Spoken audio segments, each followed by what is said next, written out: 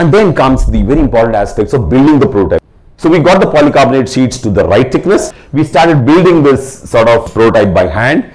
Most of the prototypes are built by hand. That's why they're very expensive and very, very difficult to build and takes more time. And you know, look at the shape. Look at the big slope at the back. Why is that slope so big? Dust and slime. Dust can slide off. Dew will clear away the dust if there's a dew in the morning. So multiple aspects. And then we made the slider. User convenience. If it's on the window, I want to slide my tray, want to take my food and put my food on it and slide the you know thing inside. What's that black uh, bottom base doing? What do you think that is? Heat absorption. That's an aluminium plate. Why aluminium? It, it takes it fast, gives back heat fast, right? What about thickness? 3 to 5 mm is good enough. So what happens is I keep it there. During that time, it becomes very hot. And then when you, as soon as you put your you know, vessel, all the heat gets into the vessel.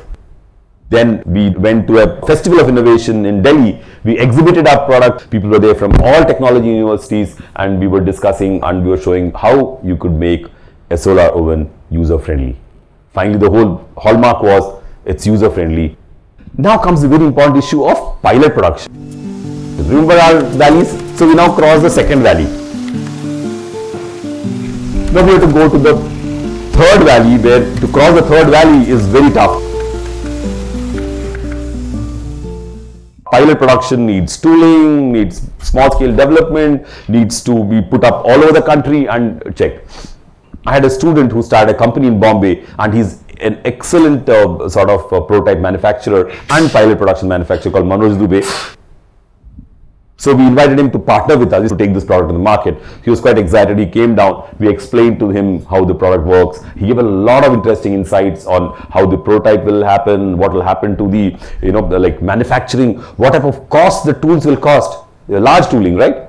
The cost will be very large. So here now we have to worry about cost too.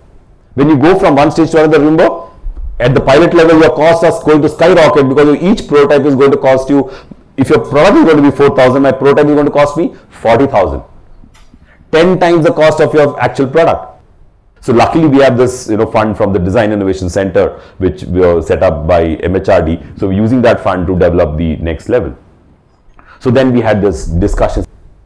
And look at the shapes changing so then we started going back to the drawing board, looking at what type of forms will make it easy to manufacture, what type of forms will make it easy to uh, the dust to go away. So multiple presentations in the studio, multiple discussions, and then you know that's again Manoj Dubey and his team, and we have the other designers and engineers sitting, and we're discussing how to take this forward. And then we went to the you know uh, vendors who make tools. There's a tool manufacturer who does bathtubs. He does plastic bathtubs what type of vendors do you go to? You go to vendors who are already good in those manufacturing. So you see these large plastic bathtubs in uh, today's uh, you know uh, hotels and all. So these bathtubs are manufactured by him.